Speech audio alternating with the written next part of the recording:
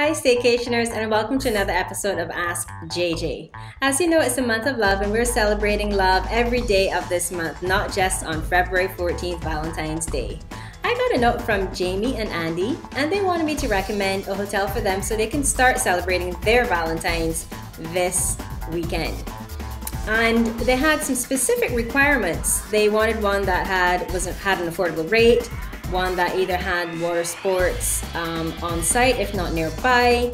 And they wanted a hotel that was hip and modern and kind of laid back and with like a, a quiet sophistication. So I thought, huh, okay, this sounds good. Now let me see, let me see, because you know, I've, I've said that there's a staycation. I'm pretty sure I can find a staycation to meet anybody's requirements. So I got on the website and I started looking, and then it hit me Silver Point. Silver Point Hotel in Silver Sands, Christ Church. The absolute perfect location for um, for you guys. I did a staycation there and let I am 150.25% certain that it will meet and exceed every single one of your requirements. First of all, the rate is US 99 per night double occupancy and that includes daily breakfast per person. So uh, that's I believe that should be well within your budget.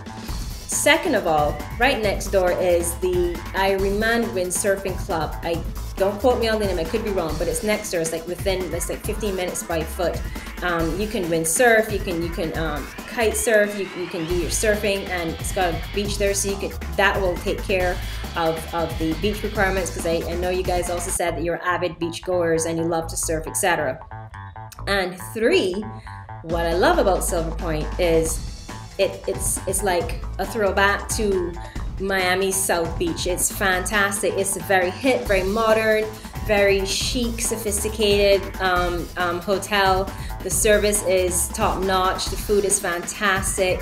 The decor is, is just beautiful, really. Um, one of my favorite favorite parts or highlight for me, which I think you guys will enjoy and I hope you take full advantage of it too, because I certainly did, is they have this beautiful deck built all along the front, uh, beachfront actually, looks right out onto the ocean, and it has these it's dotted with these wonderful day beds with the nice willowy canopies and nice pillows on there. I spent most of my time when I was there on those day beds and I had a nice book where I would read and relax or we have a you know have a nice cocktail or drink or what have you and I just enjoyed the ambiance the peacefulness. You could hear the surf hitting against the, the shore it was just wonderful. And I think that would be a fantastic romantic setting for you too the rooms are great.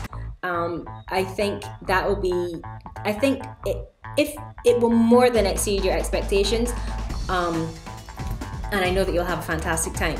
I, I hands down. I, I don't have any doubts. So guys, check it out for yourself. Um, you can go on our website, www.staycationbarbados.com. Silver Point Hotel in Silver Sands, US 99, just to recap, including daily breakfast.